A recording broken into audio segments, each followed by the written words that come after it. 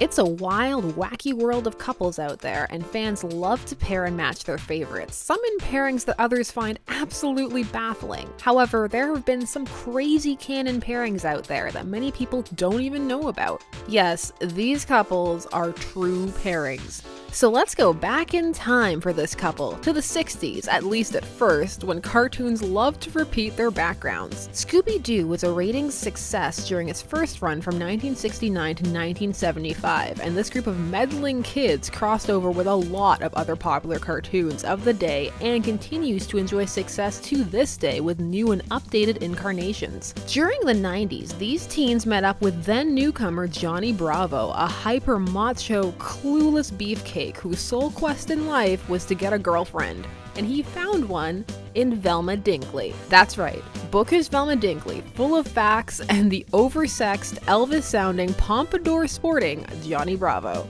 The episode where they first met features Johnny's car breaking down and him hitching a ride in the Mystery Machine, where he falls in love with Daphne while Velma falls in love with him. But Daphne rejects him because, well, he's Johnny Bravo, and Velma thinks it's her chance when a ghost bursts in and ruins everything. The ghost is ultimately revealed to be Johnny's aunt, who says she was trying to scare him off because he's an embarrassment to the family. And, well, the gang ends up agreeing with her and leaves them both tied to a tree. How romantic. However, since then, the Cartoon Network has stood firmly behind this pairing. Ultimately, though, Velma rejects Johnny even after their affection becomes more mutual because she has mysteries to solve. As far as pairings go, it kinda makes sense, at least on the Johnny end. He wants a stable girlfriend who adores him. As for what Velma sees in Johnny, though, mm, must be the muscles. The first crossover aired in 1997 and was called Bravo Dooby-Doo, and I, for one, would love to see a more modern crossover between these two. Not that Johnny plays all that great to every modern audience.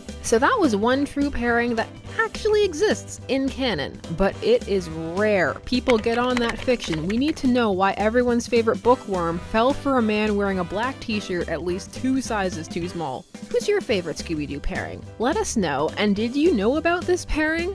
Come on, admit it if you did. Let us know down there in the comments below. Until next time, when we explore more true pairings.